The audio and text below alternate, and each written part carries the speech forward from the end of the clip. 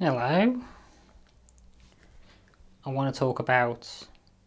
Well, you probably guessed from the title. I want to talk about passive graphics cards. Mainly these four.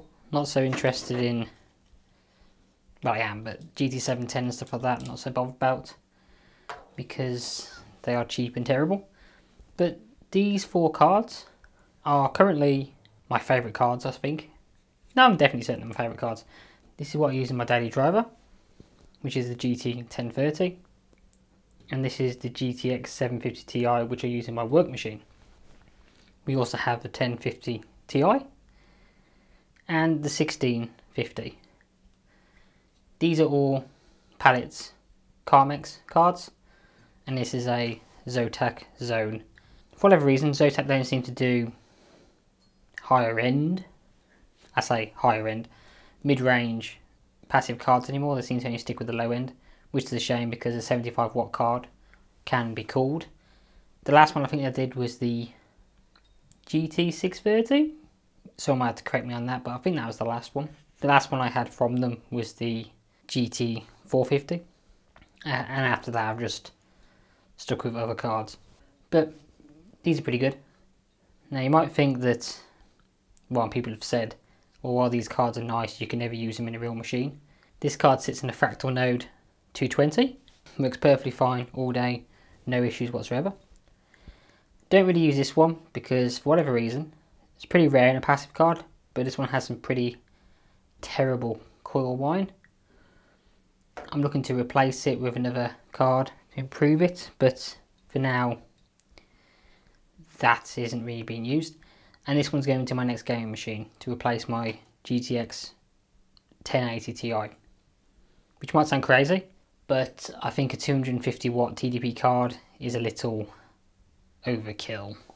Especially for the games I play these days. So we're going to be using this.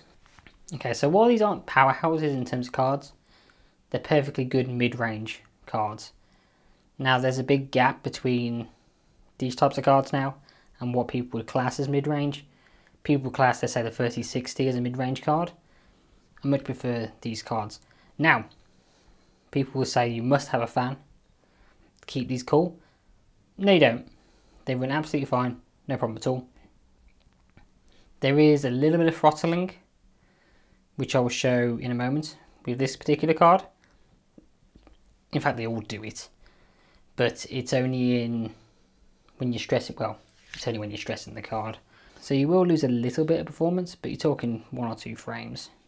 At that point, you can just whack a good case fan in, you know, large, slow spinning, and just push some air over it. Of course, people might complain the fact that the fins are going this way and not this way, which is even the case here on this card. But you can get most cases now with a fan that goes on top pushing air down or pulling up. So it's irrelevant. Coming in the next couple of weeks, this should be going into a Dan A4 completely fanless build, which I hope to cover soon.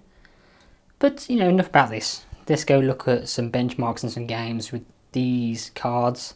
So you can see the performance difference between, let's say, a GT 1030 and a GTX 1650. I mean, this card is double the price of this. So there is that. But these are, if you're in second-hand market, these are about £100. These are about 60, 70. And these can be picked up about, well, 40, 50, depending on where you get it. And these are a 100 plus mark if you can actually find one.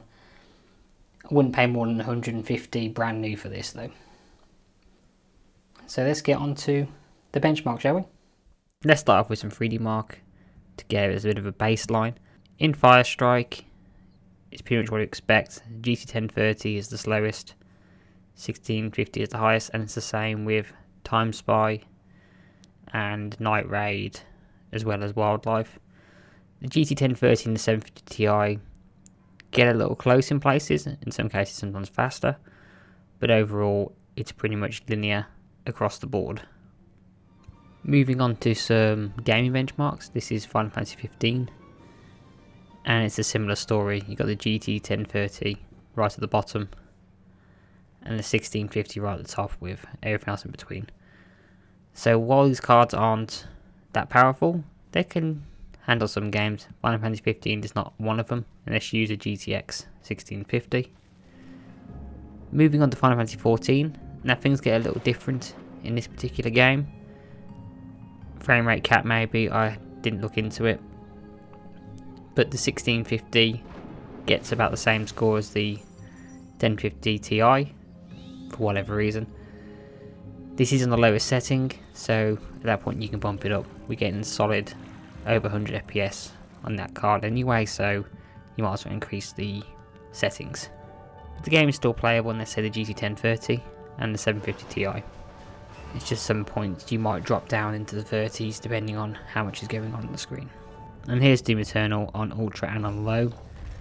The 2 gig cards, the 1030 and the 750 Ti can't run on Ultra, but the other cards can. And as you can see, we're getting, you know, kind of low frame rates on the lower cards, and the 1050 Ti is struggling a bit. And as you can see, the 1650 runs Doom Eternal just fine, which is nice. So, if you're looking for slightly more modern games, the 1650 is where it's at, which is not bad for a 75 watt card. And then older games like Alien Isolation, perfectly playable on all the cards really, with obviously the 1650 hitting silly frame rates, so you can play it on a nice high frame rate monitor. But even on the GT 1030 on Ultra, it plays just fine. Don't quite hit that 60 FPS average, just knock down a few settings and it'll be perfectly playable. Now with games like Far Cry 5, the GT 1030 and the 750 Ti can't handle it at all. This is on low. The GTX 1050 Ti and, and the GTX 1650 can handle it no problem on low. And knock it up to ultra, and these are still getting playable frame rates, as long as you don't want that solid 60. And where would a selection of games be without Crysis? Surprisingly, depending on your opinion and what settings you want to use, the GT 1030, 750 Ti, in fact all of the cards, can play Crysis. The only card that's able to play on the maximum setting, with everything turned to full, is the 1650, which just about gets that 60 FPS average. But if you're willing to tweak with the settings, all these cards can handle Crysis just fine, assuming you got a good enough CPU. And here we have Shadow of the Tomb Raider on low at 1080p. The GT 1030 and the 750 Ti just can't handle it at this resolution. They're okay at 720, they do struggle, but they can just about play it. But the 1050 Ti and the 1650, they can handle it just fine. If you want that solid 60 FPS though, you're going to have to use the 1650, which isn't a shock, it is a newer game.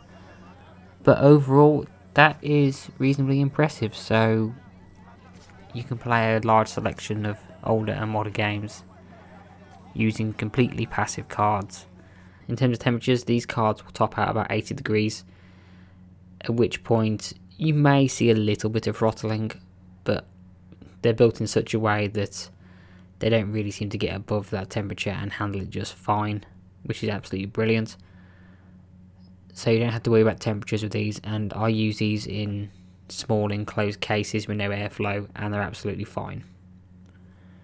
Of course, if you're slightly worried, one nice case fan nice and big somewhere in the case to get a bit of airflow will keep the temperatures considerably lower. But overall, the temperatures of these cards is absolutely, absolutely fine. Well, there you go. As you can see, the no shock, slowest to fastest. Sometimes these get a little close to each other, but overall, these are very slow cards. Though you can pick this one up very cheap. The 2 gig does limit them but the 4 gig card, the 1050 Ti and the 1650, I mean they're absolutely fine. They do struggle running some very modern games at 60 frames per second, but honestly, I think the performance is absolutely fine. To the point the fact that I am going forward using this as my main card. So it's perfectly adequate for me, especially at 1080p gaming. I do have a 4K monitor, I just don't care about 4K. So I'm quite happy to run my games at 1080p because for intents and purposes they look fine. 4K is nice and all, but uh, I don't particularly care too much. That's all I really wanted to say today. Bit of an odd video, granted, but I do very much like passive cards. passive cooling, anything that makes stuff quiet. So I like to share what I can. And if people are out there looking for a nice passive card, well, this is the current selection. Granted, there's no AMD. That is because their cards use far more power than these cards. And it's only Nvidia recently they've been able to do 75 watt cards. I can't see a 30 series card hitting the 75 watt bracket. So it might be a couple of years before we see a replacement to this card. But in the interim, this is a perfectly adequate card. So that's it really. Thank you for watching. Like, dislike, all that nonsense. Subscribe if you can. Please, this channel does need subscriptions. And any comments below, please let me know and I'll try and answer them. This one's always been used.